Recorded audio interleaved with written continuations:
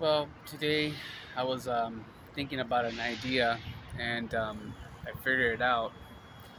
Um, you know, a lot of people are saying, why, if God is so awesome and so great, why does He let other people die? Well, I heard a story about that time ago about a man named Frank. Well, Frank was a farmer. And Frank, you know, needed to provide for his family. So he uh, decided to become a bus driver, going up a hill to destinations right next to his farm. So there was one day he had maybe 50 to 60 people inside his bus and he's going down the hill, right? Then all of a sudden, a soccer ball just passed by, and here comes a kid. What happened? And there's no way to do anything about it, but there was no time to stop, so he went ahead and hit the young man, hit the young boy, I'm sorry, hit the young boy, killed him instantly, and keep on going down, still going down until he ended up all the way to the bottom. And a lot of these people were screaming and yelling, why you didn't stop, why you didn't do this, why you didn't do that.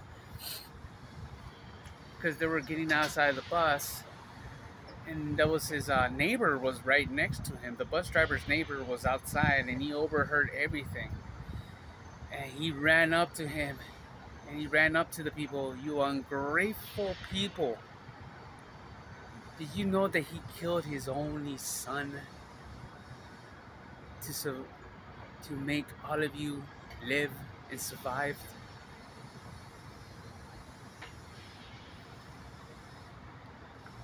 So that's why I tell everyone that God is grateful, God is just, is merciful, and He will save people for the will of God.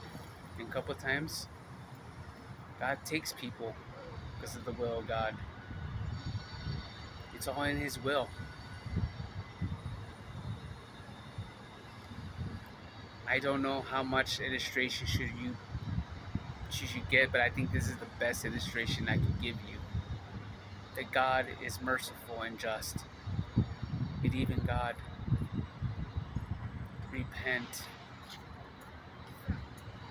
Chase the Lord Jesus Christ to forgive you and give you a brand new life, a brand new creation. So just repent and give yourself to God. Have a great day and God bless. And may the Lord Jesus Christ give you grace and upon grace and mercy and all you all. Amen.